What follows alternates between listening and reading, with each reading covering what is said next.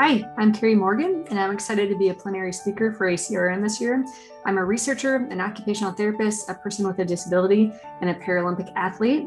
I've spent years trying to meet my own physical activity and health goals. And during my presentation at ACRM, I'm going to share some of these experiences with you and talk about how we might be able to continue to advance research in the area of physical activity and disability to help support other people with disabilities meet their health goals.